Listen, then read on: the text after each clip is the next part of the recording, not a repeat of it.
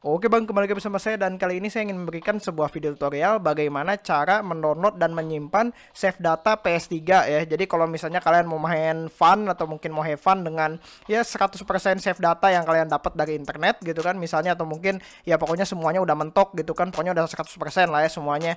Dan kalau misalnya kalian mau have fun kalian bisa menggunakan tutorial ini gitu kan. Dan kalian bisa cari di Google untuk save gamenya atau mungkin save datanya. Tapi saya saranin kalian carinya yang no resign atau mungkin yang gak harus di login ulang karena nanti bakal ada tulisannya cannot uh, load another user data ya. Pokoknya ya kayak gitulah ya pokoknya intinya. Dan kalau misalnya kalian mau cari gitu contohnya misalnya sini persona 5 uh, persona 5 misalnya uh, PS3 save without uh, without resign ya misalnya.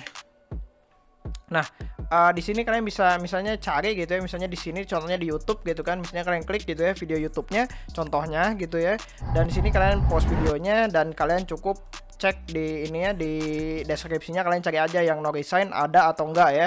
Dan di sini ada tulisannya no resign needed for Europe and US ya atau mungkin or US gitu kan. Sini kalian klik aja linknya dan kalian download dan kalau misalnya kalian udah beres nanti kalian cukup uh, pindahkan ya ke harddisk eksternal kalian. Dan di sini ada ininya ya, yang ininya dan no resign needed gitu kan. Di sini kita akan uh, double klik saja langsung dan apa nih macOS Oh ini untuk macOS ya, karena saya pakai PS3 juga. Di sini kita akan langsung aja klik yang itu.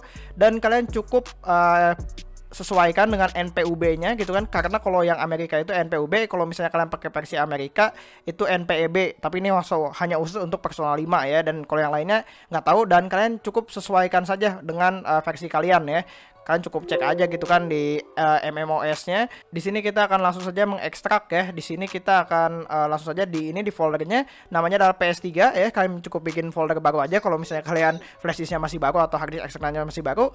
Ini kita akan double klik dan nanti di sini akan ada save data atau mungkin kalian kalau misalnya nggak ada tinggal new folder langsung bikin save data ya. Setelah bikin folder yang namanya save data ya, semua caps lock kalian double klik dan di sini kalian kalau misalnya ada yang lamanya karena ini saya harus resign jadi saya akan akan hapus saja dan di sini kita akan copy saja langsung ke sini atau mungkin ekstrak ya.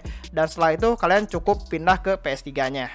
Oke, jadi di sini kita sudah masuk di PS3-nya ya, dan di sini kita cukup cari aja yang lambangnya stick kayak gini, ada tulisannya game gitu ya di bawahnya, dan sini kita akan cukup ke save data utility untuk yang dalam kurungnya PS3, jangan yang lain-lain ya kan, PS3, contohnya kita akan pencet bulat, di sini kita akan uh, klik yang USB device, kalau misalnya belum kebaca, kalian bisa mencoba untuk uh, tutorial yang bagaimana cara mengatasi harddisk atau mungkin flashdisk yang tidak terbaca atau mungkin nggak bisa reconnect ya kalau misalnya udah FAT32 juga.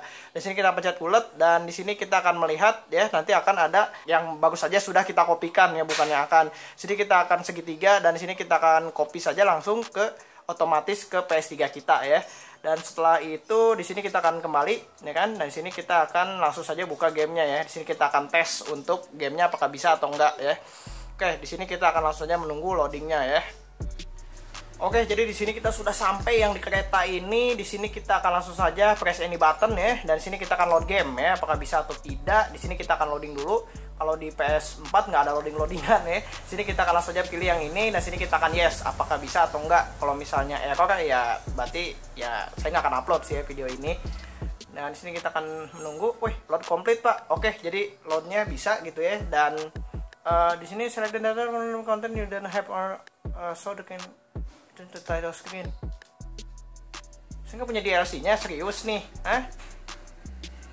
jadi save datanya nggak bisa gitu kan karena saya nggak punya DLC Oke, jadi mungkin nanti saya akan download dulu ya DLC-nya, tapi intinya untuk loadnya bisa gitu kan, dan gamenya udah masuk. Mungkin karena saya belum download DLC-nya, nanti saya akan download DLC-nya. Dan ya kayaknya cukup segitu doang sih ya untuk videonya. Jangan lupa untuk like dan subscribe seperti biasa. Nama saya Dr. Bekasiat, dan thanks for watching. Bye-bye.